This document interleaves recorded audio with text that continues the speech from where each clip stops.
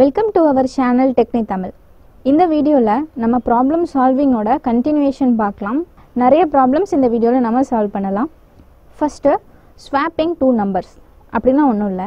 ஏக்கு டென்னு நான் வேல்யூ கொடுத்துருக்கேன். பிக்கு டுவெண்ட்டி நான் வேல்யூ கொடுத்துருக்கேன். ஸோ எனக்கு ஏவை பிரிண்ட் பண்ணால் என்ன வரும்? டென் அப்படிங்கிற ஒரு வேல்யூ வரும்.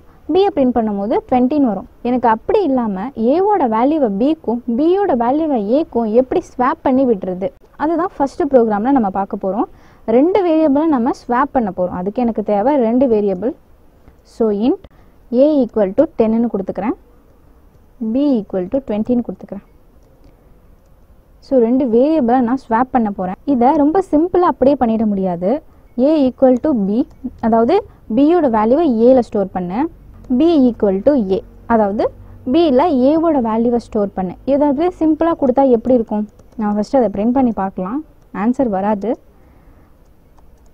Percentage D A comma B ரெண்டையுமே நான் ஃபஸ்ட்டு ஏவை பிரிண்ட் பண்ணுறேன் நெக்ஸ்ட்டு பியை பிரிண்ட் பண்ணுறேன் நான் இங்கே பண்ணியிருக்க மாதிரி பார்த்தா டுவெண்ட்டி டென் அப்படின்னு பிரிண்ட் ஆகணும். நான் ஸ்வாப் பண்ணியிருக்கேன் ஆனால் அப்படி வராது. ரெண்டுத்துக்குமே வேல்யூ டுவெண்ட்டி டுவெண்ட்டின்னு தான் வருது. இது ஏன் அப்படி வருது அப்படின்னா ஃபஸ்ட்டு நான் ஏ ஈக்குவல் டு பின்னு கொடுக்குறேன். அதாவது இங்கே டுவெண்ட்டின்னு இருக்குமா? இந்த டுவெண்ட்டியோட வேல்யூ ஏல போய் சேவ் ஆகிடும் ஸோ இப்போது ஏவோட வேல்யூ எனக்கு டுவெண்ட்டின்னு ஆயிடுச்சு. நான் இங்கே பி ஈக்குவல் டு ஏன்னு கொடுக்குறேன். பி ஈக்குவல் டு இப்போ ஏல என்ன வேல்யூ இருக்குது டுவெண்ட்டி தான் இருக்குது ஸோ பி ஈக்குவல் டு டுவெண்ட்டின்னு வந்துடுது அதனால தான் நான் ஏ பியை பிரிண்ட் பண்ணும்போது ரெண்டு வேல்யூமே எனக்கு டுவெண்ட்டி டுவெண்ட்டின்னு கிடச்சிது. ஸோ இது கரெக்டான லாஜிக் இல்லை. இதில் இன்னும் கொஞ்சம் ஒரு மாடிஃபிகேஷன் பண்ணணும். அதுக்கு நான் ஒரு தேர்ட் வேரியபிளாக இன்ட்ரடியூஸ் பண்ண போகிறேன் அதாவது இன்னொரு வேரியபிள் அதை நான் டெம்ப்ரவரி அதாவது டெம்ப்னு வச்சுக்கிறேன். இப்போ நம்ம என்ன பண்ணலாம்? இந்த ஏவோட வேல்யூவை நான் டெம்ப்ரவரியாக ஒரு இடத்துல போய் ஸ்டோர் பண்ணி வைக்கிறேன். டெம்ப் ஈக்குவல் டு ஏ அதாவது ஏவோட டென்னுங்கிற வேல்யூவை டெம்ப்ரவரியில் ஸ்டோர் பண்ணிடுறேன். இப்போது ஏ ஈக்குவல் டு பின்னு கொடுக்குறேன். என்னாகும்? டெம்ப்ரவரியில் எனக்கு டென் அப்படிங்கிற ஒரு வேல்யூ ஸ்டோர் ஆகிடும் இப்போது ஏல எனக்கு பியோட ஆன்சர் என்னது? டுவெண்ட்டி டுவெண்ட்டின்னு வந்துடும் நெக்ஸ்ட்டு எனக்கு இன்னும் பிக்கு நான் டென்னுன்னு சேஞ்ச் பண்ணலை. ஸோ பி ஈக்குவல் டு இதில் யாருக்கு வேல்யூ டென்னுன்னு இருக்குது நான் ஆல்ரெடி ஏவோட வேல்யூவை ஒரு இடத்துல டெம்பரவரியாக ஸ்டோர் பண்ணி வச்சுருக்கேன். அந்த வேல்யூவை நான் இங்கே எடுத்து யூஸ் பண்ணிக்கலாம். டெம்ப் ஸோ தேர்டு வேரியபிளை யூஸ் பண்ணி அதாவது ஏவோட வேல்யூவை நான் இன்னொரு இடத்துல போய் சேவ் பண்ணி வச்சுக்கிட்டு அதுக்கப்புறமா நான் அதை எக்ஸ்சேஞ்ச் பண்ணுறேன் ஸோ இங்கே பியோட வேல்யூ எனக்கு டுவெண்ட்டின்னு கிடச்சிருக்கும். இப்போ இதை பிரிண்ட் பண்ணி பார்க்கலாம். டுவெண்ட்டி அண்ட் டென் ஏவோட வேல்யூவில் டுவெண்ட்டியும் பியோட வேல்யூவில் டென்னுன்னு எனக்கு சேவ் ஆயிடுச்சு. இப்போது இதை வந்து ஒரு யூசர் கிட்டேருந்து ஒரு இன்புட் வாங்கி நம்ம பார்க்கலாம். ஏ பி ஸ்கேன் ஆஃப் ரெண்டு வேல்யூ அதாவது ஏ அண்ட் பியை நான் இப்போது யூசர் கிட்டேருந்து வாங்க போகிறேன் comma ampersand A comma ampersand B first நம்ம ரெண்டு வேல்யூ கொடுப்போம். தௌசண்ட் அண்ட் தேர்ட்டி எனக்கு எப்படி பிரிண்ட் ஆகணும்? தேர்ட்டி அண்ட் தௌசண்ட்னு பிரிண்ட் ஆகணும். தேர்ட்டி அண்ட் தௌசண்ட் ரெண்டு நம்பரை நம்ம ஸ்வாப் பண்ணியாச்சு. ஸோ இவ்வளோ தான் ஸ்வாப்பிங் ரெண்டு நம்பரை ஸ்வாப் பண்ணுறதுக்கு எப்பயுமே ஒரு தேர்டு வேரியபிள் தேவைப்படுமான்னு கேட்டால் தேர்ட் வேரியபிள் இல்லாமல் கூட நம்ம ரெண்டு நம்பரை ஸ்வாப் பண்ண முடியும். அது எப்படின்னு இப்போ பார்க்கலாம். So int A equal to ten B equal to டுவெண்ட்டின்னு கொடுக்குறேன். தேர்ட் வேரியபிள் நான் இப்போ எதையுமே நான் இங்கே யூஸ் பண்ண போகிறதில்ல அதுக்கு பதிலாக ஒரு சின்ன ஒரு லாஜிக் இப்போது ஏவோட வேல்யூவையும் பியோட வேல்யூவையும் நான் அடிஷன் பண்ண போகிறேன் ஸோ ஆட் பண்ணும்போது எனக்கு ரிசல்ட் தேர்ட்டின் கிடைக்கும். ஸோ தேர்ட்டியை நான் ஒரு இடத்துல ஸ்டோர் பண்ணுறேன் அதை ஏலேயே நான் ஸ்டோர் பண்ணிக்கலாம். நெக்ஸ்ட்டு ஏவையும் பியும் சப்ராக்ட் பண்ணி ஒரு இடத்துல வைக்கிறேன். ஸோ டென் சப்ராக்ட் பண்ணுறேன் ஸோ இதுலேருந்து நான் எப்படி ஈஸியாக எனக்கு இன்னொரு வேல்யூவை நான் எடுக்க முடியும்? இது ரெண்டையும் நான் மைனஸ் பண்ணேன்னா எனக்கு இன்னொரு வேல்யூ கிடச்சிரும். ஸோ இதுதான் trick A equal to A plus B ரெண்டு வேல்யூமே ஆட் பண்ணி ஒரு இடத்துல வைக்கிறேன். ரெண்டு வேல்யூமே சப்ராக்ட் பண்ணி நான் பியில் ஸ்டோர் பண்ணிக்கிறேன். ஏ மைனஸ் பி நெக்ஸ்ட் என்ன பண்ணணும்னா இந்த ரெண்டு வேல்யூவுமே நான் சப்ராக்ட் பண்ண போகிறேன் ஸோ எனக்கு ஃபஸ்ட்டு வேல்யூ ஏல சேவ் ஆயிருக்கு செகண்ட் வேல்யூ பியில் சேவ் ஆயிருக்கு. எனக்கு ஏல டுவெண்ட்டிங்கிறது சேவ் ஆகணும். ஸோ ஏ ஈக்குவல் டு இப்போ உள்ள ஏ மைனஸ் பி இப்படி நான் கொடுத்தேன்னா எனக்கு கரெக்டாக ஸ்வாப் ஆகிடும் கம்மா ஏ கம்மா பி இந்த ப்ரோக்ராமில் ரெண்டையும் ஆட் பண்ணி ஒரு இடத்துல வச்சுட்டேன். ரெண்டையும் சப்ராக்ட் பண்ணி ஒரு இடத்துல வச்சுட்டேன். அது ரெண்டையும் நான் சப்ராக்ட் பண்ணும்போது எனக்கு ஆன்சர் கிடச்சிரும். ஸோ இப்போ எனக்கு டுவெண்ட்டி அண்ட் டென்னு பிரிண்ட் ஆகணும். டுவெண்ட்டி அண்ட் டென்னு பிரிண்ட் ஆயிருக்கு. ஸோ இதை மாதிரி தான் ஸ்வாப்பிங்கை வித்தவுட் யூஸிங் தேர்ட் வேரியபிளை நம்ம இம்ப்ளிமெண்ட் பண்ணலாம். நெக்ஸ்ட் ப்ராப்ளம் என்னென்னா ரெண்டு வேரியபிள் கொடுத்துட்டு அந்த ரெண்டு வேரியபிளில் எது கிரேட்டர் அப்படின்னு கேட்குறாங்க ஸோ அதை எப்படி பிரிண்ட் பண்ணுறதுன்னு பார்க்கலாம். ரெண்டு வேரியபிளுக்காக ஏ கமா நான் வச்சுக்கிறேன். Print of enter the two numbers. Next அதை யூசர் கிட்டேருந்து வாங்குறதுக்கு ஸ்கேனர் ஃபங்க்ஷன்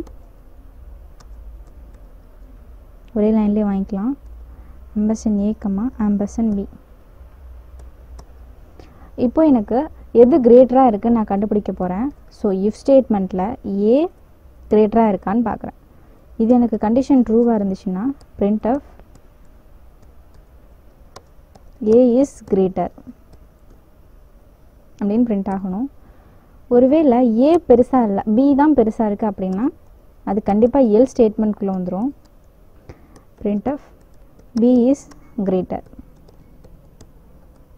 ஒருவேளை ரெண்டுமே சேமாக இருந்தால் என்ன பண்ணுறது ஸோ அதுக்காக எல்ஸ் இஃப் யூஸ் பண்ணி A equal to equal to பியா நான் செக் பண்ணுறேன் இருந்துச்சுன்னா print of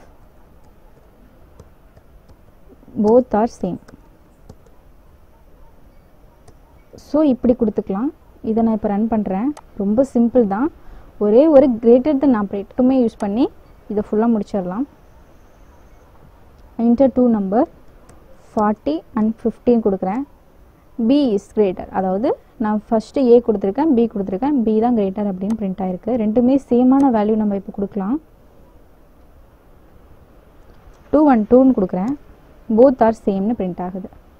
நெக்ஸ்ட்டு ப்ராப்ளம் ஒரு மூணு இண்டீஜர்ஸ் கொடுத்துருக்காங்க. அந்த மூணு இண்டீஜர்ஸில் எது கிரேட்டர்னு எப்படி கண்டுபிடிக்கிறதுன்னு பார்க்கலாம்.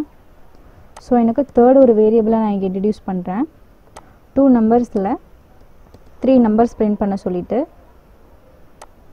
அதுக்கு எக்ஸ்ட்ரா இங்கே நம்ம ஸ்கேன் பண்ணிக்கலாம். பியை விட ஏ கிரேட்டராக இருக்குன்னா நான் ஏ இஸ் கிரேட்டர்னு நான் பிரிண்ட் பண்ணிட முடியாது. எனக்கு சின்னு இன்னொரு ஒரு வேரியபிள் இருக்குது ஸோ எனக்கு இன்னொரு ஒரு கண்டிஷன் நான் இங்கே போட போகிறேன் சியை விட கம்பேர் பண்ணும்போது கூட ஏ பெருசாக இருந்துச்சு அப்படின்னா அப்போ ஏ தான் கண்டிப்பாக லார்ஜஸ்ட் நம்பர் ஸோ இது ஒரு தனி கண்டிஷன் இஃப் ஸ்டேட்மெண்ட்டில் போடலாம். நான் இங்கே ஆர் ஆப்ரேட்டர் போட்டேன்னா ரெண்டில் ஏதாவது ஒன்று ட்ரூவாக இருந்தாலும் போதும்னு அர்த்தம். அதனால நான் இங்கே அண்ட் ஆப்ரேட்டர் தான் போடுவேன். ஏ பியை விடையும் அதிகமாக இருக்கணும். சியை விடையும் அதிகமாக இருக்கணும். இப்படி இருந்துச்சுன்னா ஏ இஸ் கிரேட்டர் அப்படின்னு அர்த்தம். நெக்ஸ்ட்டு வேறு என்ன? பி இஸ் கிரேட்டராக இருக்க? என்னென்ன சான்ஸ் இருக்குது பி கிரேட்டர் தென் சியாக இருக்கான்னு செக் பண்ணணும். நெக்ஸ்ட்டு ஏவை விடையும் பெருசாக இருக்கா? பி அப்படின்னு செக் பண்ணணும். ஸோ பி லெஸ் தென் ஏவான்னு நான் செக் பண்ண போகிறேன் இது ரெண்டு கண்டிஷனுமே ட்ரூவாக இருக்கணும். ஸோ அதனால் எனக்கு அண்ட் ஆப்ரேட்டர் இங்கே நான் போத் ஆர் சேம்னு இல்லாமல் பி இஸ் கிரேட்டர்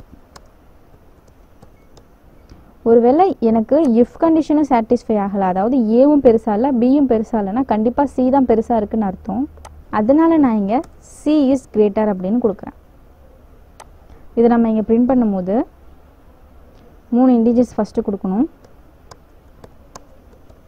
இப்போ நான் சி தான் கிரேட்டராக கொடுத்துருக்கேன். எனக்கு சி இஸ் கிரேட்டர் அப்படின்னு பிரிண்ட் ஆகிருக்கு இப்போ பி வந்து கிரேட்டராக இருக்க மாதிரி ஒரு நம்பர் கொடுக்கலாம். எனக்கு இப்போ எயிட்டி நைன் அப்படிங்கிற பி தான் கிரேட்டர் ஸோ பி இஸ் கிரேட்டர்னு பிரிண்ட் ஆயிருக்கு. ஸோ இவ்வளோ தான் மூணு நம்பருக்குள்ள எது கிரேட்டர் அப்படிங்கிறத கண்டுபிடிக்கிறதுக்கான ப்ரோக்ராம் இந்த வீடியோ உங்களுக்கு யூஸ்ஃபுல்லாக இருந்துச்சுன்னா லைக் பண்ணுங்கள் ஃப்ரெண்ட்ஸ் கூட ஷேர் பண்ணுங்கள் மறக்காமல் டெக்னி தமிழ் யூடியூப் சேனலை சப்ஸ்கிரைப் பண்ணுங்கள் தேங்க்யூ ஃபார் வாட்சிங்